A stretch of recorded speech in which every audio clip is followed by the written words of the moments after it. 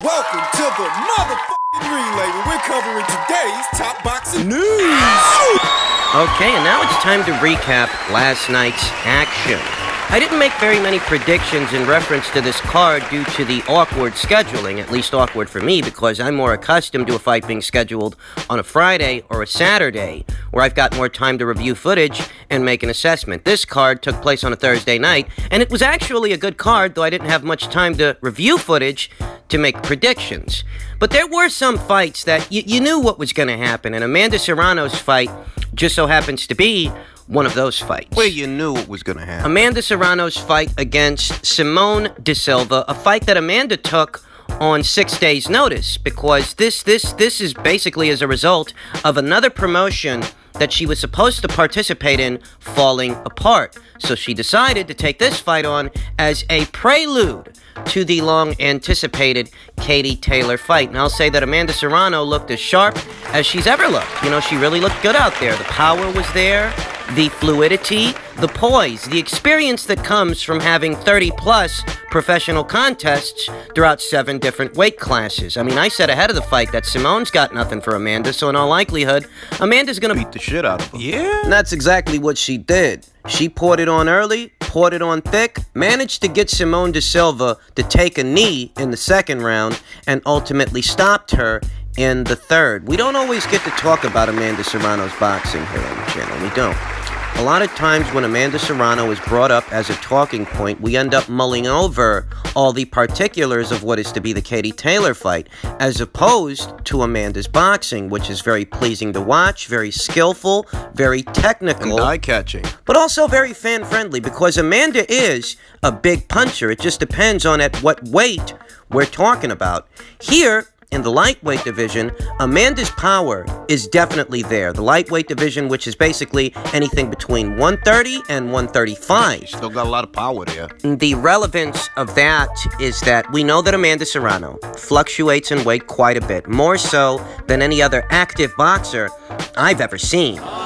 And there's always a question of, you know, where she's going to pop up next. Particular to this conversation, this was a lightweight contest. That's anywhere between 130 and 135. And anywhere between 130 and 135, Amanda Serrano's power is definitely there. I'll say that if Amanda Serrano has a ceiling where she maxes out, it would have to be 140. I would say that at 140, her power there isn't what it is at 135. This was evident in the Yamila Reynoso fight, back when Amanda was fighting for the vacant title, the vacant WBO title, at 140 pounds against Yamila Reynoso. Yamila, who took many of Amanda's best punches very well, took them in stride and kept on fighting. Amanda, being a good enough boxer, a good enough tactician, she didn't need her power to win the fight. She was able to win the fight behind her boxing, which is very educated, very polished, very technical. That is to Amanda Serrano's credit because a lot of these big punches, you know, they, they tend to fall in love with their power. And they tend to fall in love with going in there and having it their way, that they get accustomed to getting a certain level of respect from their opponent. So the second that that changes, they're like a deer in the headlights. They don't know what to do. Whereas Amanda Serrano, to her credit, you know, she wasn't able to get Yamila out of there the way she's able to get a lot of other girls out of there, but she's a good enough boxer that she was able to still win the fight behind her boxing. I'd say that, you know, to Amanda Serrano's credit, she's got that working for her, but I reiterate, her power at 140 isn't what it is at 135. At 135, she does seem to pack a bigger punch.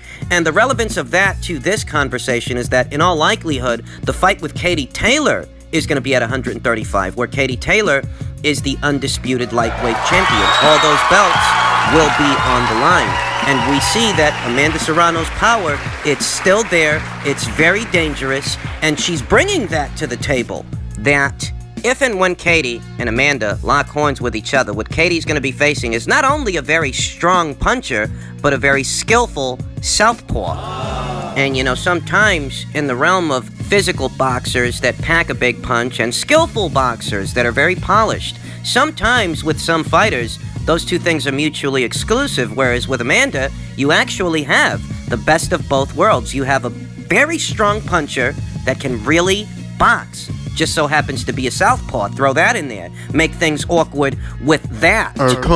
Last night, in last night's fight against Simone da Silva, we saw many of Amanda Serrano's trademarks that she's a very good puncher that knows to go both upstairs and downstairs fluidly. She doesn't abandon the body, but she's not afraid to throw some headshots out there. Good straight punches from the outside coming in, pressuring the likes of a Simone da Silva, who just isn't built to take that kind of punishment.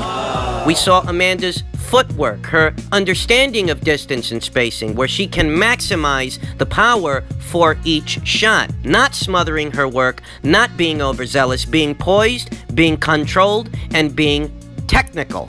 Experienced fighters like Amanda Serrano, they know what their sweet spot is. They know their range and they know how to maintain it so that they can thereby amplify the power in each shot by staying in position to land hard punches. This was evident in Amanda Serrano's footwork. And her position. That she was definitely pressuring Simone da Silva, but maintained that bit of space between her and Simone to get good leverage, good torque on the punch and thereby add that to it. You know, not getting so close to her to where you're not generating much power. You're just getting off these short little arm punches. Not Amanda Serrano. She's got enough experience, veteran experience, that she knows where to be to land the hard shots and continually land the hard shots. Because she beat the fucking shit out of Simone da Silva, and I had no doubts ahead of the fight that that's what was going to happen. So Amanda Serrano definitely looks primed to take on Katie Taylor in what could be their very next fight. So here's looking forward to that. We then come to the Super Bantamweight title fight where the titles changed hands between the then unified champion Daniel Roman and the now unified champion Murodjon Akhmadaliev. And this was anybody's fight. This was a fight that I, I wasn't sure what was going to happen because on one end, you tell yourself that, you know what, the bookies have got Akhmadaliev as a favorite for a reason. But at the same time, Daniel Roman really is a far more experienced professional boxer than Akhmadaliev is. And this could go for Akhmadaliev against Roman the same way that Mikhail Aloian's title run went against Zolani Tete. Mikhail Aloian, who, like Akhmadaliev, has a very extensive amateur background, good pedigree, but it was too much too soon for him. In that way, it was hard to know how this is going to play out, how this fight is going to end. And we see how it ended. We have a new unified champion in the super bantamweight division thereby justifying the aversions that Daniel Roman's people, his team, had in taking this fight because they were very vocal. They, they, they didn't want Roman to take this thing, but he did because he's a, you know, he was a champion and he's that kind of fighter, so you have to respect it. I'll say that if things didn't go to plan for Roman, it's because his sweet spot is mid-range to inside, whereas Akhmadaliev is quick enough, athletic enough, and strong enough that he can do the business and quickly get out of position, get out of range of Roman's best shots. Roman didn't really find his way into this fight until after the midpoint. He came on strong in the last round in the 12th. You wonder if he had fought the whole fight the way he fought in the 12th round, would he have, you know, retained his titles? Would he have still had them? But, you know, it, it was very difficult for Roman. And that's because Roman is not as physically gifted as Akhmadaliev is. Make no mistake, Roman was a solid fighter and a good champion, but there were certain areas where he was lacking. He had the right idea, attempting to offset the speed of Akhmadaliev with timing, you know, trying to time his punches. It's just that Akhmadaliev is not simply a fast set of hands, he's also a fast set of feet. A quick fighter overall with very sharp reflexes and very good power. Just as well, Roman had the right idea in targeting Akhmadaliev's midsection that when you're dealing with a fast fighter, it behooves you to take it to the basement, you know, target that guy's body because that's your best bet to slow him down. And Roman tried it. It's just that it was very difficult for Roman to get into his sweet spot, which is mid-range to inside. Mid-range to inside where he can land some very good body shots and his money punch, the uppercut. You know, if, if he would have been able to close the gap a little more, perhaps he would have had more success. But woulda, coulda, shoulda, if my aunt had a dick, she'd be my uncle. You know, Akhmadaliev is not in there to make things easier for Roman. Akhmadaliev instinctively knew to get out of range and and prevent Roman from really getting into this fight. Roman didn't get outclassed per se. He didn't lose by much, but he did get out hustled. That's how I would characterize the aesthetic of this fight. That between Akhmadaliev's movement and his top level condition because what punches did get through, Akhmadaliev took them well and took them in stride. He didn't lose a step, he didn't fade, he didn't burn out as the fight progressed. This was the most rounds that Akhmadaliev had ever fought in a professional boxing match. This is a guy who, before this fight, was not accustomed to going the distance, and that's saying a lot because this is a guy who, ahead of this fight, only had seven professional fights, six of which ended by way of knockout, none of which was a 12 round match. So Akhmadaliev is definitely in a lot of conversations right now, and we're going to discuss him a little more moving forward in another video. But for now, congratulations to him for becoming a unified champion in only seven professional fights. Eight now. We know what kind of conversations are going to ensue thereafter. We then come to the super featherweight title fight between the then champion Tevin Farmer and the now current champion Joseph Diaz. And look, I'm not looking to make excuses for Tevin, and I'm not looking to diminish Joseph Diaz. I'm just trying to wrap my mind around what I saw because there are elements of it that I don't quite understand. We know that Tevin hurt his hand sometime early in the fight because he said as much on camera. I mean, we saw it. But there were other things that he didn't seem himself. He's normally a lot sharper than what we saw last night in the pocket and outside of the pocket. The quality of his movements, his upper body movements, his angles, his counters, all of it was just off. I don't know why. He went out there and he looked flat. And, you know, Tevin's never been a big puncher. I mean, even at his best, this is not a knockout guy per se. But it's it's the areas where he's strong that he was actually lacking in last night's fight. You know, his angles, his defense, his mobility, his movements deep in the pocket, his ability to counter. This is a guy who normally rolls punches off the shoulder beautifully and fires counter uppercuts that almost always find a home. But in this fight, he just he couldn't get anything going. There really did seem like there was something wrong with him, something beyond just a hurt hand. In truth, I don't know what exactly was wrong with Tevin Farmer, but I'm convinced that there was more going on there than meets the eye. And I don't say this to diminish Joseph Diaz or make excuses for Tevin Farmer. I'm just trying to wrap my mind around what I saw because fight by fight, you get a sense of continuity with Tevin, of what he's capable of, what kind of fighter he is, and what you can expect him to do. Yet none of those things really happened in last night's fight against Joseph Diaz. I don't know why. Joseph, who is a formidable pressure guy, admittedly, a guy who wants to stay close to you, crowd you, throw a lot of punches, rough you up. He's that kind of guy. So it was always going to be a difficult fight because Tevin's not that big a puncher. You know, if he has something working for him, it's his boxing. But it just so happens that it is his boxing that seemed to have, I don't know, taken the day off. Now, Tevin means to have an immediate rematch, and in all likelihood, that could very well be their next fight because Tevin is a champion. You know, he had a rematch clause, something along those lines.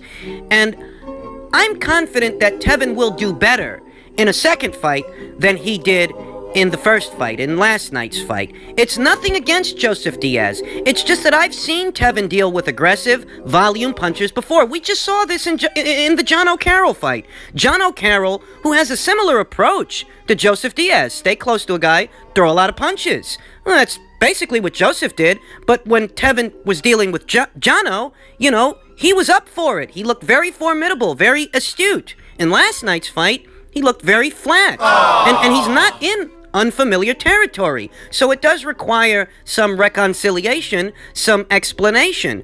I hope to see a second fight, I do. Uh, this wasn't a shutout.